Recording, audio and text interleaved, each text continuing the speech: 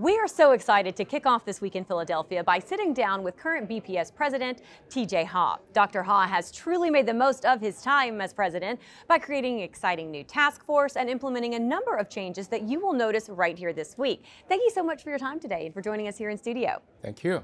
All right, let's get started. You know, first off, congratulations on a very exciting and successful year. As you take a look back, is there any one thing in particular that stands out and maybe an accomplishment that you're most proud of? So I am most proud of the program committee who put together a most diverse and forward-looking uh, lineup of speakers for the meeting. And they were chaired by Ibrahim Cissé and Elizabeth Villa, uh, who I uh, appointed. Mm -hmm. That was a real privilege for me to choose them, and it was the best decision that I'm most proud of. Like I mentioned, you've created a number of new initiatives, um, specifically a new task force, among other things. Can you describe some of those? Yeah, we had a new task force for new awards, and we created uh, four new uh, awards for the society. And the first one is on computational biophysics, named after Klaus Schulten and Luthey uh, Schulten. And they uh, are the towering figures in the uh, field.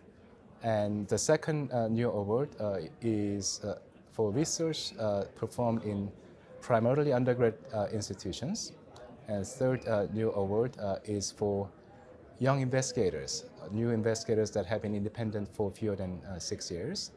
Finally, uh, we have outstanding doctoral dissertation award, and we have uh, two uh, awards to pick. one is for candidates within the United States, and the other is for candidates from outside the US. As far as this meeting goes, lots of new changes as well. We have our SIMP Select speakers, um, platform flash talks, lots of different changes. What can attendees expect as they head into this week? So uh, these uh, changes were actually inspired by my attending previous meetings, uh, several experiments run by the subgroups, and uh, new initiatives such as uh, Black in Biophysics presidential mm -hmm. symposiums.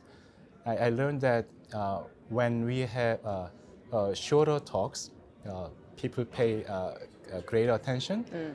speakers perform better, and we also are allowed, we are able to give more opportunities to our members to present their own work. And that's the goal for the behind the changes to give additional presentation opportunities for the members. And I think uh, uh, you will be able to see uh, the outcome.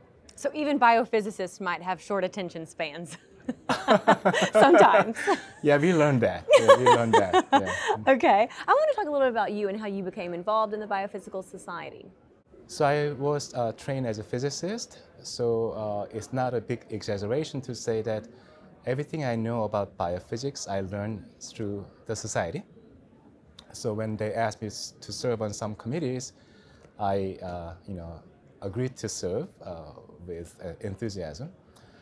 And uh, for the young uh, researchers and scientists, uh, you know, my uh, suggestion would be to uh, seek out opportunities to meet uh, new people because your career and life will be shaped by the people you meet, mm -hmm. in many cases by random chances and by volunteering to serve under society duties, you increase your networking opportunities.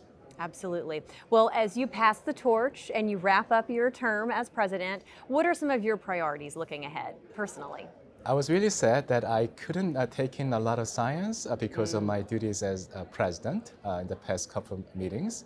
So I look forward to, you know, learning more science once my term is over. Getting back to the science. That's right. All yeah. right, Dr. Ha, thank you so much for all of your work this this past year and also for this week. We appreciate it. Thank you so much.